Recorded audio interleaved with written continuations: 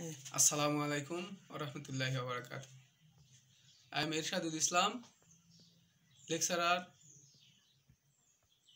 in English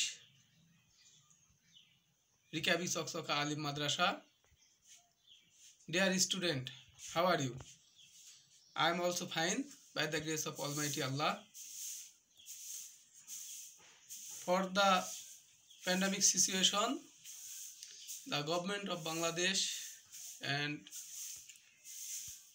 the Board of Education decided to stop the class but to continue the class by online. So i stand here before you by online class তোমাদের বুঝার জন্য, ভালোভাবে বুঝার জন্য ইংরেজি ক্লাসটা বাংলা দিয়ে, বাংলা ভার্সনে যেহেতু আমাদের প্রতিষ্ঠানে তোমাদের ভর্তি বাংলা ভার্সন। ইংলিশ ক্লাস কিন্তু বাংলা ভার্সন। অতএব সুন্দর করে বোঝানোর জন্য বাংলা ল্যাঙ্গুয়েজ ইউজ করব, যাতে তোমরা সুন্দর করে বুঝতে পারো। আজকে আমাদের ক্লাসের টপিকস ফ্রেজ আর ওয়ার্ডস। তোমরা জানো, ইংলিশ সেকেন্ড পেপার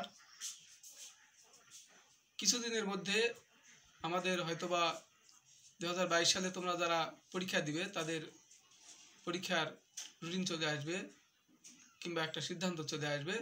তবে এ পর্যন্ত আমাদের কাছে যে তথ্য আমরা পেয়েছি, সে অনুযায়ী ইংরেজি প্রথম পত্র এবং দ্বিতীয় পত্র, পঞ্চাশ পঞ্চাশ। ইংরেজি প্রথম পত্র পঞ্চাশ মার্ক এবং ইংরেজি দ্বিতীয় পত্র পঞ্চাশ মার্কের পরীক্ষা নেওয়ার জন্য সিদ্ধান্ত গ্রহণ করেছেন আমাদের কর্তৃপক্ষ। তবে এটি ভবিষ্যতে কর্তৃপক্ষের নির্দেশ অনুযায়ী চেঞ্জ হতে পারে, পরিবর্তন হতে পারে। তবে তোমরা জানে রাখবে, এ পর্যন্ত এটা খুব একটা ভালো সিদ্ধান্ত এই পঞ্চাশ এবং পঞ্চাশ মোট একশো মার্কের পরীক্ষা নেওয়ার জন্য। তো আমরা চলে আসি ব্যাক টু আর লেসন। ইংরেজি প্রথমে আমরা যখন দেখব যে এক নম্বর প্রিপোজিশন, উইদাউট ক্লুতে প্রিপোজিশন এক নম্বর ছিল আমাদের। সেটার ক্লাস আমরা ইতিমধ্যে আগে দেখানোর চেষ্টা করেছিলাম ক্লাসে, যেহেতু কয়েকদিন আমরা সময় পেয়েছিলাম। এখন আবার প্রতিষ্ঠান বন্ধ। অনলাইন ক্লাসে আমরা দুই নম্বর প্রশ্ন দেখাতে যাচ্ছি। দুই নম্বর হলো সুইটেবল ফ্রেজেস অর ওয়ার্ডস তো আমরা প্রথমে আগে জানব কিছু কিছু ফ্রেজ এখানে দেখা যাচ্ছে ওয়াজ বর্ন এটা অবশ্য তোমাদের উইথ ক্লু হিসাবে থাকবে। উপরে বক্সের মধ্যে এই ফ্রেজগুলা থাকবে। সেখান থেকে বাছে নিয়ে তোমাদের পূরণ করতে হবে। তো আমরা আগে দেখি ফ্রেজগুলোর অর্থ। এখানে আছে ওয়াজ বর্ন ওয়াজ বর্ন শব্দের অর্থ হলো জন্মগ্রহণ করা। বর্ন মানে তোমরা জানো, জন্মগ্রহণ করা। এটি একটি ভার ওয়াজ অক্সিলারি ভার ওয়াজ বর্ন এটি সবসময় প্যাসিভ ভয়েসে হয়, জন্মগ্রহণ করা। হ্যাভ টু হ্যাভ আমরা জানি একটা হ্যাভ অক্সিলারি ভার্ব এবং এটাকে অক্সিলারি ভার্বের মধ্যে হ্যাভ ভার্ব বলা হয়, কিন্তু এখানে আমাদের হ্যাভের পর টু হ্যাভ প্লাস টু যদি থাকে, তাহলে এটা মডেল অক্সিলারি ভার্বে রূপান্তরিত হয়ে যাবে এবং এরপর যে ভার্বটা আসবে, সেই ভার্বের প্রেজেন্ট ফর্ম তো আমরা পরে দেখব হ্যাভ টু অর্থ হবে বাংলা যে মিনিংটা আসবে, সেটা আমাদের সেন্টেন্সটা মিনিং করলে দেখা যাবে যে হ্যাভ টুর জন্য অর্থ আসবে হবে। আমাদের কোনো একটা কাজ করতে হবে, বাধ্যবাধকতা। Next would rather would rather অর্থ হলো একটির চেয়ে অন্যটি বেশি পছন্দনীয়। সাপোজ মনে করো একটি কাজ, তোমার দুইটি কাজ, দুইটি কাজের মধ্যে তোমার যেটা পছন্দনীয় বেশি, সেইখানে তোমার এখানে উড রেদার ব্যবহার করতে হবে। আমি নেক্সটে বুঝাবো আর ভালো করে আকারে। শুধু এখন তোমরা এগুলা মুখস্থ করে রাখবে। লেট অ্যালোন লেট অ্যালোন শব্দের অর্থ হবে না বললেই নয়। লেটার অ্যালোন মানে কি? না বললেই নয়। অথবা তো দূরের কথা, তো দূরের কথা। Next dear student listen to me attentively what does dot dot look like what does dot dot look like dot dot বলতে এখানে আমাদের অন্য সেন্টেন্সের মধ্যে হয়তো সাবজেক্ট কিংবা অন্য কোনো কিছু একটা থাকবে, তারপর আবার লুক লাইক ব্যবহার হবে। তো এটার অর্থ হবে এরকম যে কেমন হয়। তো কেমন হয়?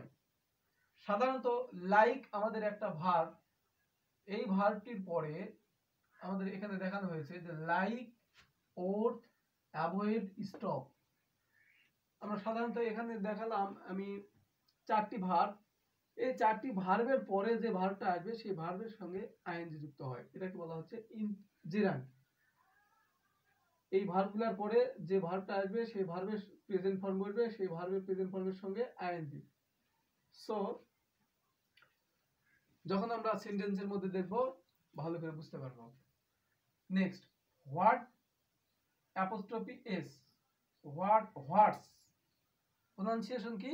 হোয়াটস অথবা আমরা এটা এরকম করে উচ্চারণ করতে পারি what is it like what is it like or what's it like এর অর্থ হবে কেমন হয়। দুটির অর্থ প্রায় একই মতনই। এই দুইটির অর্থ what does dot dot look like এবং হোয়াটস ইট লাইক এই দুইটি ফ্রেজের মিনিং প্রায় আমাদের সেম আসবে, কেমন হয়।